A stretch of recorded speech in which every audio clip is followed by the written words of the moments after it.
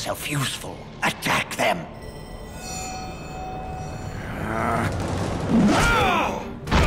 Resist the mind control.